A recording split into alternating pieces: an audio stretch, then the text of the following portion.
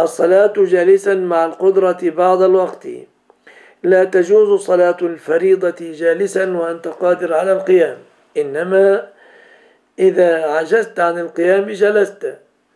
أما صلاة النوافل فإذا صليت جالسا وأنت تستطيع القيام فلك نصف أجر القائم في النافلة.